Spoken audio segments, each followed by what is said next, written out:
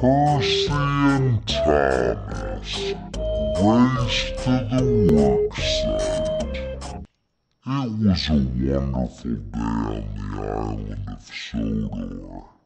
The children were laughing, the men were working, and Sir Topham Hatt's engines were getting ready for their day.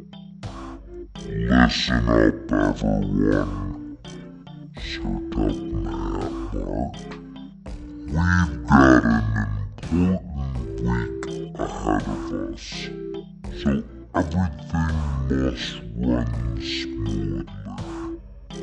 Gordon, there will be many passengers due to the business convention in town.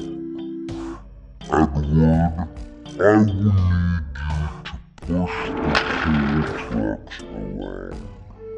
Thomas, make sure you don't act like a clown while you and Percy relay the east track down. But don't just sit there.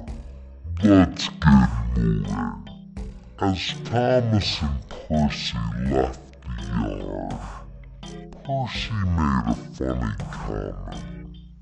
Sir Topham Hatt is a poet, and he doesn't know it. Thomas laughed and replied, If you think that was funny, wait until I beat you to the work site.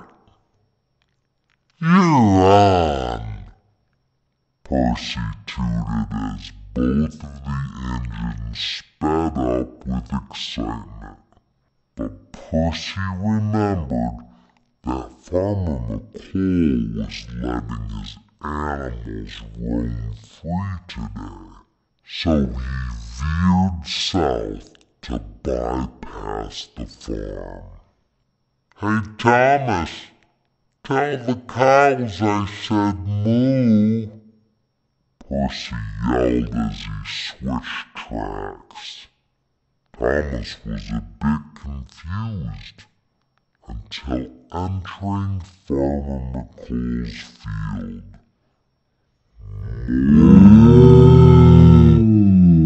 Mama McColl, can I get some help? Thomas yelled while idling with the animals. Just whistle real loud, no move. Dude!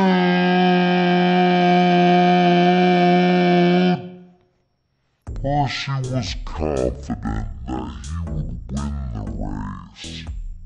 Percy sped up as the first light turned red. Whoa! Narrowly missing Linnaeus, Percy noticed the second light turn red, and he went even faster to avoid getting stopped. Slow down, Percy, Gordon yelled. You're going to hurt someone. When the third light turned red, Percy knew that he was too far away. But when he slammed on his brakes, screech! He realized he was traveling just too fast. Percy stopped in the nick of time before he and Rusty collided. Oh, thank heaven! I could have hurt someone, and all because of silly race. When the animals cleared, Thomas once again began to pick up speed. When turning the corner, Thomas saw Percy was in the lead and decided to catch him. I'm Almost there. Stop!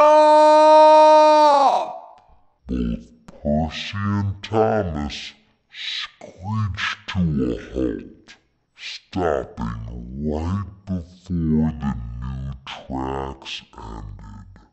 I do declare that to be a tie. Announced the workman. So, how many new rail tracks do you have for us today? Thomas and Percy looked at each other and realized they had forgotten to pick up the railroad tracks. Percy smiled. Race you to the smelter's yard. You're on! Thomas chirped as they both reversed to win the new race.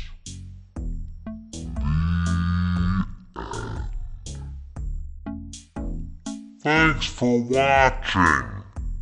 What part did you like best? Comment below and let me know. Or click one of the links to watch more. Thanks again, and we'll see you next week.